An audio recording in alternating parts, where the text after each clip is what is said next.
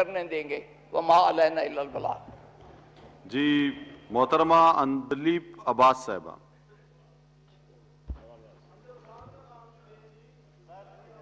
جی شکریہ اسپیکر صاحب۔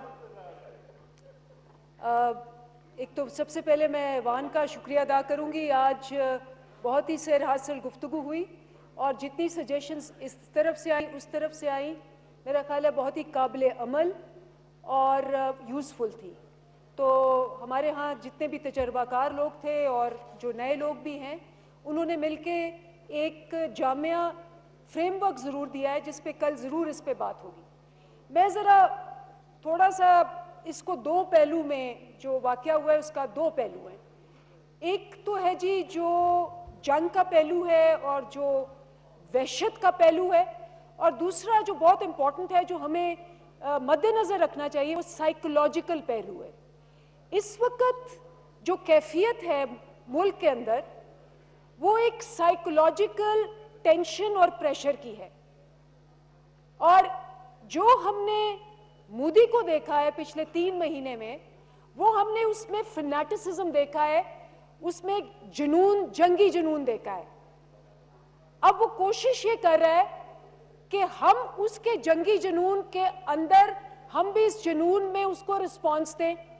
اسی جذبات کے رو میں بیٹھ کے ٹٹ فور ٹیٹ کریں اور دل بھی کرتا ہے۔ یہاں جتنی بھی تقریریں ہوئیں، سب نے کہا اور میں سب سے اگری کرتی ہوں کہ اگر انہوں نے ہم پہ کوئی وار کیا ہے تو ہمارے وار ان سے بہت زیادہ مضبوط ہونے چاہیے۔ لیکن میرا خیال ہے کہ یہ ساری جو سائیکولوجیکل وارفیئر ہے، یہ اس کے دو پارٹس ہوتے ہیں۔ دنیا آج کل بہت آگے چلی گئی ہے۔ ایک ہارڈ پار ہوتی ہے، ایک سافٹ پار ہوتی ہے۔ ہارڈ پار جو ہوتی ہے، وہ ملٹری پار ہوتی ہے، جس پہ آپ نے فوکس کرنا ہوتا ہے۔ جو سافٹ پار ہے، وہ یہ ہے کہ ان کو ذہنی طور پہ آپ مفلوج کر دیں۔ تو میں آج کہوں گی کہ پاکستان کے پاس بہت اچھا موقع ہے۔ وہ کہتے ہیں adversity from adversity comes opportunity مشکلات سے مواقع نکلتے ہیں۔ آج مشکلات ہیں تو موقع بھی ہے، کیونکہ ساری دنیا کے سامنے مودی کا چہرہ نمایاں ہو گیا۔ ہم تھوڑا سا پرسپیکٹو دیکھیں۔ پرسپیکٹو دیکھیں کہ ہم پوزیشن آف سٹرینتھ سے ہیں۔ کبھی بھی پہلے ہماری انٹرنیشنلی اتنی سٹرونگ پوزیشن نہیں تھی، کیونکہ ہمیشہ مودی اور بھارت کہتا تھا کہ ہم ہیں ٹیررسٹ آج دنیا کہہ رہی ہے کہ وہ ٹیررسٹ ہیں۔ اور دنیا سے کیا مراد ہے؟ تین important powers U S A, جو کہ ویسٹ کی سب سے بڑی پاور ہے۔ سعودی عربیہ، جو مڈل ایسٹ میں پاور ہے۔ اور ساؤتھ ایسٹ ایشیا میں چائنا۔ تینوں کے تینوں بھارت کے ساتھ نہیں ہیں۔ آپ کے خیال میں مودی نے یہ کیوں کیا ہے؟ اس لیے کیا ہے کیونکہ وہ گیا کشمیر اور کشمیر میں اس نے پہاڑوں پہ اور پانی پہ ویو کیا، ایک بندہ اس کو ملنے نہیں آیا۔ دوسرا آئی سی جے پہ انہوں نے کلبھوشن کا مقدمہ لوز کر دیا۔ اور تیسرا، انہوں نے تین الیکشنز لوز کیے۔ تو اس کی وجہ سے ہمیں پرسپیکٹو دیکھ کے ایک بہت ہی دانش مندانہ فیصلہ کرنا چاہیے۔ اس وقت وہ آئسولیٹ ہے۔ میں آپ کو اس کا اگزامپل بتاتی ہوں کہ ہم سکسیسفل کیوں ہیں۔ انہوں نے اپنے جنگی جنون میں بہت چھوٹی حرکت کی ہے۔ ہمارے دو ریسلرز جا رہے تھے انڈیا میچ کھیلنے۔ ان کو ویزا ریفیوز کر دیا۔ انٹرنیشنل اولمپک ایسوسیشن نے انڈیا کو بین کر دیا from having any events over there اور انہوں نے کہا کہ انڈیا کو آئسولیٹ کرو. یہ ایک بہت بڑی وکٹری ہے.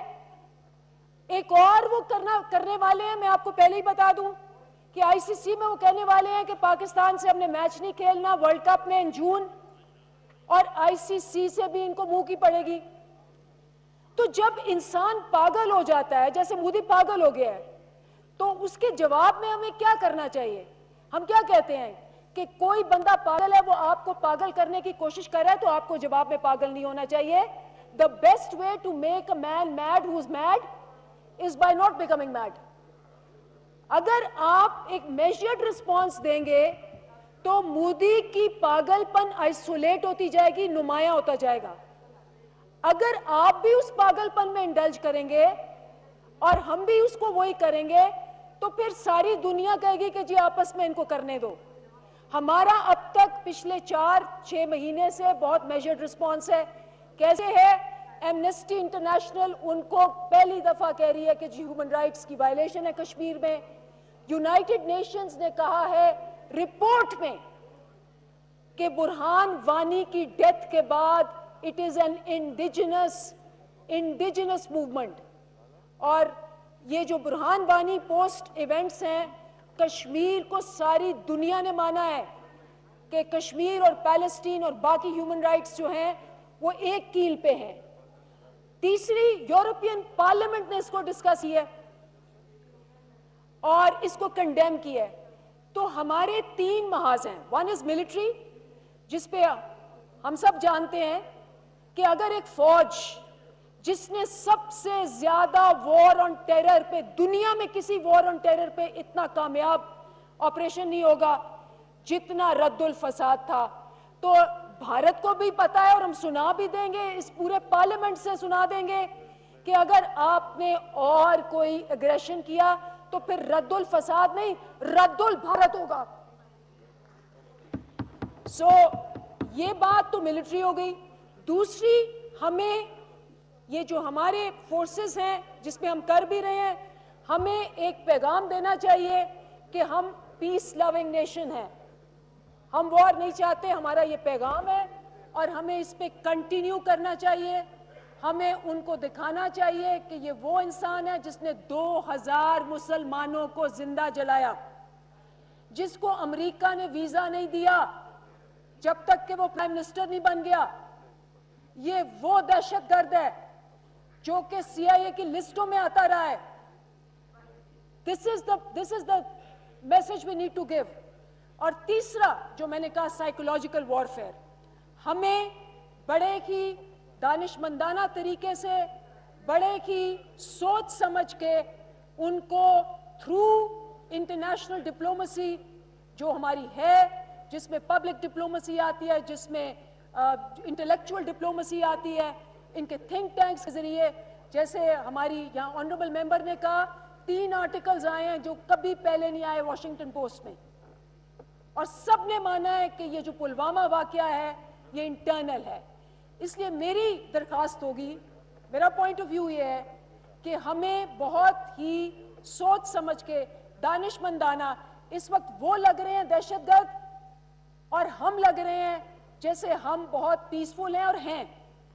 ہمیں یہ سٹانس لے کے ہماری فوج مضبوط ہے، ہماری پارلیمنٹ مضبوط ہے، ہماری عوام مضبوط ہے۔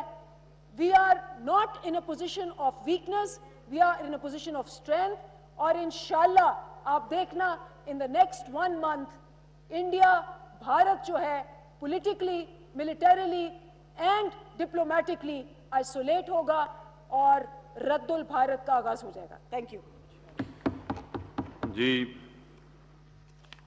جناب محترمہ شاہدہ اختر علی صاحبہ۔ بسم اللہ الرحمن الرحیم۔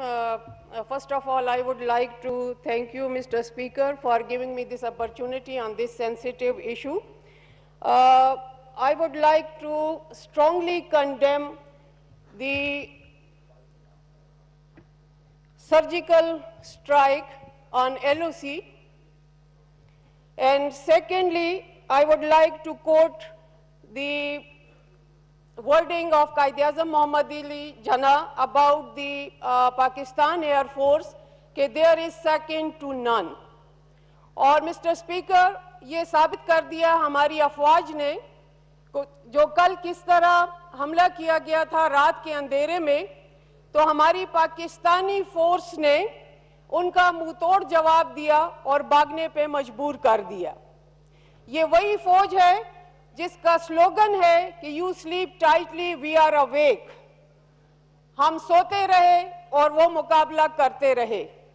جناب اسپیکر، ہمارے ملک کی ساورینٹی اور انٹیگریٹی پہ کوئی کمپرمائز نہیں۔ اور مجھے خوشی ہے کہ آج جس طرح اس ایوان نے یک زبان ہو کے ملک کی سالمیت کی سینسیٹیوٹی کو دیکھتے ہوئے ایک دوسرے پہ جو تنس کے نشتر برسار ایک بھرپور طریقے سے انشاءاللہ پاکستان کا پیغام جائے گا اور ہمیں سوچ اور عقل سے کرنا ہوگا۔ ہم ایک نیوکلیر پاور ہیں۔ ہمیں کسی بھی ان کے اس ٹرپ میں نہیں آنا چاہیے۔ ہمیں ایک بہت ہی میچور قوم کا میچور نیشن کا ایک ثبوت دینا ہوگا۔ بہت شکریہ۔ جناب آغا حسن بلوچ صاحب۔ جناب آغا حسن بلوچ صاحب۔